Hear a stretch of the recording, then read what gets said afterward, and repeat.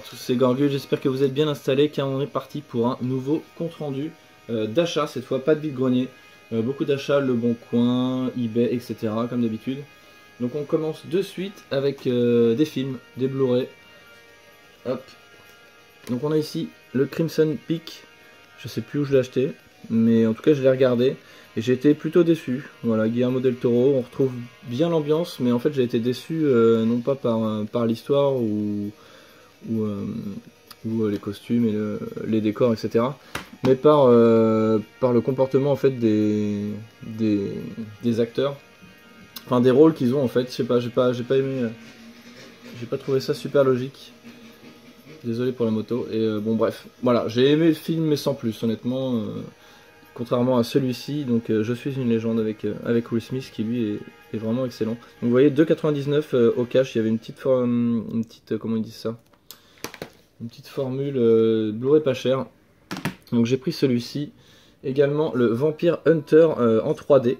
Voilà, 2,99. Donc c'est pas un film monstrueux, mais enfin j'avais commencé à le regarder il y a longtemps et je me souviens pas l'avoir terminé. Alors soit je me suis endormi, euh, soit je l'ai arrêté en, plein film. Mais bon, à revoir. En tout cas, voilà, 2,99 un film en 3D Blu-ray, c'est plutôt, plutôt cool. Ensuite, on a L'âge de glace 2 en Blu-ray pour 3 euros aussi que tout le monde connaît, je pense. Et ensuite euh, Max Payne, voilà, en, rapport avec les jeux vidéo un petit peu, 2,50€. Euh, Donc celui-ci, je l'avais vu, c'est pas non plus, euh, c'est pas un chef-d'œuvre, hein. mais, ça se regarde. Ensuite, dans les DVD, une série que j'aime beaucoup, un manga, il s'agit de Hajime no Hippo. Donc là, on avait les deux premiers DVD, donc il y a à peu près il y a une dizaine d'épisodes. le 1 et le 2. voilà, pour 1€ et 3€ le, le deuxième DVD. Hop, donc tout ça toujours en cash. Ensuite, on a Apple Seed, voilà, qui est un, film, euh, manga, donc par les créateurs, c'est écrit, hein, je ne fais que lire, par les créateurs de Ghost in the Shell. Euh, c'est un film que j'ai jamais regardé. J'avais le, 2 en steelbook depuis longtemps, enfin la suite, je crois. Euh, donc je vais pouvoir enfin les regarder prochainement. Ensuite, on a Les Mignons, voilà, un espèce de petit steelbook arrondi que je n'ai pas encore vu. Et ici, euh, Jurassic World. voilà, il y avait une formule 4 Blu-ray 30 euros. Ah bah c'est ici que j'ai eu le Crimson Peak, voilà, je m'en souviens. 4 euh, Blu-ray 30 euros. Le Jurassic World, j'ai vu au cinéma. Euh, sympa, sympa, il y avait même pas mal d'humour, des trucs, des trucs assez loufoques. Mais voilà, la partie avec les raptors dans la forêt, ça m'a moyennement plu, plus d'autres choses. Mais voilà, c'est un film sympa à voir pour, les fans de Jurassic Park, c'est plutôt cool quand même. Ensuite, j'ai ramené des petites choses des, vacances avec, euh, avec mes confrères. On a ici un petit cadeau de Francisco. Merci encore à toi. Donc, euh, le kick-off euh, revival. Donc, ça, je l'ai vraiment pris pour la collection. Hein. Quand on voit les screenshots, ça fait un peu peur quand même. Hop, donc merci encore Francisco. Ensuite, j'avais acheté un jeu PS1 dans un cache. Brahma Force. voilà, un petit jeu de mecha. un FPS d'ailleurs, j'ai l'impression. Que j'avais déjà malheureusement. Donc voilà, 7 euros, 7 euh, euros pour rien entre guillemets, mais c'est pas grave. J'avais qu'à avoir une liste, une liste sur moi. Et on a ici euh, des. Donc ça c'est un Micromania, des dessous de verre. Euh, voilà, avec des jaquettes de, vieux jeux PS1, donc là on voit Parapace the Rapper. je les avais déjà vus, mais pour 15 euros ça m'embêtait un petit peu, il y en a 4. Et là, voilà, il était soldé à 5 euros. Donc on a Destruction Derby, Wipeout et Gran Turismo qui est caché derrière, derrière l'étiquette. Hop Ensuite, qu'est-ce que je vous montre? Allez, on passe là-dessus. Des jeux euh, Nintendo 64 que j'ai trouvé sur eBay. Bon voilà, c'était en enchère, mais bon, ils sont en mauvais état. Euh, je m'en suis pas encore occupé, donc il faut que je les nettoie, etc. comme d'habitude. Donc ici on a un Warzone, un jeu de catch. Donc vous voyez, il y a du scotch partout. Là, c'est des jeux sans cale. Je fais de la merde.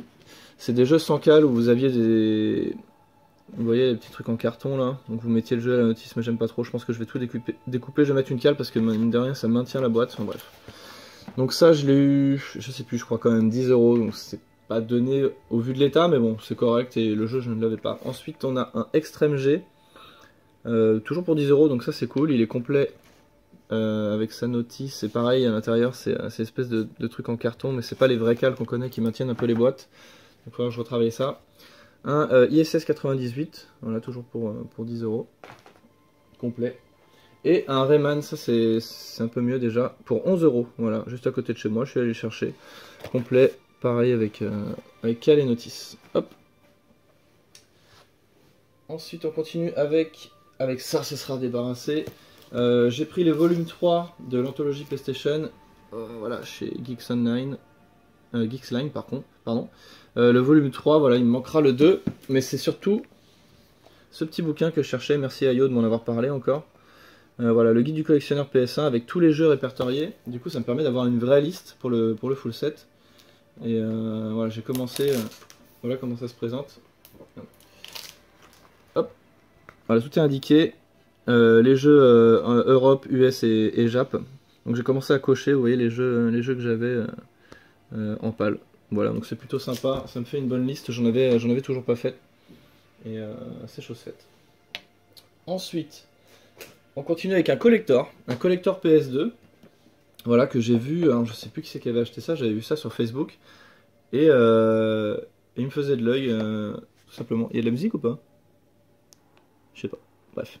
Donc il me faisait de l'œil ce, collector. Il s'agit de celui du, parrain sur PS2. Donc ça c'est le jeu euh, en bois de plastique qu'on a normalement à l'intérieur. Voilà comment se, présente le collector. vous avez une sorte de belle boîte métallique euh, noir laquée. Comme ça. Et quand vous l'ouvrez, en fait ça représente euh, un cercueil avec une sorte de papier un peu de soie une rose de l'autre côté, toujours sur un, sur, un, sur un tissu un peu, très doux. Et dedans, bah, j'y ai mis le, steelbook hein, qu'on connaît. Voilà, tout simplement, j'ai inséré le steelbook. Donc ça, c'est un petit peu plus, un peu plus sympa que la, boîte d'origine. Hop. Donc ça, je l'ai eu sur eBay entre pour une quinzaine d'euros, je crois, et il en restait vraiment plus. Enfin, c'était euh, c'est le seul que j'avais vu, quoi. Il était, il était étonnamment pas très cher parce que je crois que c'était 15 euros frais de port compris, donc euh, j'avais eu pas mal, euh, de chance. Donc voilà pour ce collecteur qui est plutôt sympa. Ensuite, euh, je vais continuer avec des steelbooks, puisqu'on a parlé du, steelbook du parrain. Ça m'inquiète cette musique là. Ok. on commence par celui de Wolfenstein que j'ai acheté aussi sur eBay. eBay Angleterre, je crois. Donc je l'ai eu pour euh, entre 10 et 15 euros quand même. Je crois plutôt, plutôt 15 euros même. Voilà, donc dedans j'y ai mis le, New Order et, la suite All Blood. Voilà, il y avait des emplacements pour plusieurs CD. Bon, il est assez simple. Hein. Le rouge, tout rouge d'un côté et là on a juste le, sigle. Voilà. Hop. Euh, dernièrement, j'ai pris celui-ci. Un steelbook de Assassin's Creed Black Flag. Euh, je regardais un petit peu les jeux que j'avais terminés dans ma collection PS4 et euh, je me suis dit est-ce qu'il y en a qui ont des steelbooks que je n'ai toujours pas? Et on avait celui-ci, voilà. Plutôt joli, donc je l'ai acheté à l'étranger, en Russie, il vient de Russie celui-ci. Voilà, je ne sais pas pourquoi, j'en sais rien. Parce que nous en France on avait que le collector avec le steelbook assez épais là que, j'aime pas trop. Hein. Ça prend un peu plus de place et bon, il est pas forcément très joli. Et là on arrive à un steelbook super beau euh, plutôt même original, très, très moulé avec beaucoup de textures en relief. Euh, il s'agit, bon, je vais vous le montrer déjà avec le, fourreau. Euh, voilà, la terre du milieu, l'ombre du Mordor. quand on enlève le fourreau, regardez-moi ça, franchement. La première fois que je l'ai vu, c'était à Micromania dans un bac. Il est vraiment très beau et il n'y en a pas beaucoup. Voilà, même de l'autre côté, on a, des reliefs. Il est vraiment très très beau. Moi, j'aime beaucoup. Voilà, bon après on a le jeu, etc. Donc ça je l'ai pris sur, euh, sur le bon coin celui-là. Je, je me souviens plus du prix par contre. À mon avis facile entre 15 et 25 euros. Facile. Euh, ensuite un lot Mega Drive que j'ai que j'ai trouvé sur Le Bon Coin il y a maintenant quasiment un an je pense. Et j'avais pas fait attention, mais il y il y a de belles surprises dedans. Alors, ce lot, j'ai dû l'acheter, je ne sais plus exactement, mais on va dire entre 30 et 40 euros. Je me souviens plus euh, exactement du prix, mais c'était par là, c'était pas loin de chez moi. Donc on a déjà deux manettes Mega Drive. Hop. La Mega Drive que j'ai toujours pas nettoyée ni testée, je crois. Je suis même pas sûr d'avoir testé, mais bon, en général les Mega Drive, il n'y a pas de souci. On a la notice. Hop. Et ensuite on va passer évidemment au jeu. Je vais baisser un peu ça. Alors, on a un Power Drive. Voilà, inconnu au bataillon pour moi. celui-ci pareil, je ne le connais pas. Cyborg Justice. ça a l'air d'être un, un beat'em all avec des mechas. Celui-ci est complet. Donc euh, j'ai pris le lot principalement euh, pour ce jeu-là qui était complet et que je ne possède pas. Ensuite on a un Sonic Compilation sans notice que je possède déjà. Et voilà le deuxième jeu pour, lequel j'étais allé chercher ce lot. Double Dragon 3. Les arcade games. Sans notice malheureusement, il faudra que, que je trouve ça. Et là on a des jeux en loose. Donc on a ici un Dynamite Eddy le fameux euh, Golden Axe avec une jaquette euh, plutôt abîmée, un Wiz and Liz, inconnu au bataillon, et surtout on a une compilation euh, avec Altered Beast, Alex Kidd, le Flicky, j'ai regardé ce que c'était, c'est un petit jeu avec un petit oiseau, enfin un petit bonhomme qui récolte des oiseaux, c'est un peu une sorte de casse-tête avec des niveaux tableau par tableau, ça m'a pas trop inspiré, et surtout il y a un quatrième jeu, euh, j'arrivais pas à reconnaître parce que je connais, je connais pas beaucoup la Mega Drive. Et c'est euh, Gunstar Hero. Donc c'est un super run and gun. Je suis allé voir sur, un peu, sur, sur YouTube le, gameplay. Ça a pas l'air facile, mais euh, bon, j'ai vu que c'était un jeu culte. J'ai un peu honte, mais enfin j'en avais déjà entendu parler, mais c'est pas pas le genre de jeu que je connaissais très bien. donc voilà, et il se trouve que ce jeu, ce jeu code pas mal. Donc c'était la, belle surprise du lot que j'ai vraiment redécouvert juste avant de tourner la vidéo. Voilà, et je viens juste d'acheter la, boîte là sur eBay, pour 20 euros quand même. La boîte seule avec euh, juste la jaquette. 10 euros de port euh, en Angleterre, donc bon, 10 euros la boîte, ça fait 20 euros au total. Euh, voilà, on continue avec des jeux PS4. J'ai acheté pas mal de jeux PS4 et j'ai joué, enfin je vais vous parler des jeux, des jeux que j'ai joué dernièrement. J'ai un petit peu joué, j'ai un petit peu joué en ce moment, voilà tout simplement. Donc ici on a le Worms, WMD, donc je sais pas ce que ça veut dire. Euh, voilà, je sais pas, j'avais envie de le prendre 20 euros quand même, mais j'avais envie de, je sais pas, de prendre ce petit Worms, on le voit pas souvent. Et voilà, si je peux faire des multis euh, avec des potes, ce sera, plutôt cool. J'ai toujours adoré les, Worms. En plus, là, c'est vraiment le, celui en 2D euh, à l'ancienne. Ensuite, un FIFA 16, pareil, j'avais vu avec, Zagma pour, pour peut-être jouer un petit peu au foot de temps en temps. C'est pas encore fait, mais voilà, au moins j'ai le jeu. Super Meat Boy, voilà, je le voulais en boîte, c'est un jeu que j'ai adoré, que j'ai terminé. Euh, voilà, je l'ai pris, j'ai dû l'avoir pour, pour 15 euros, je crois, d'occasion, un truc comme ça. Euh, Among the Sleep, toujours pas, toujours pas testé, ça fait un moment que j'ai acheté celui-ci.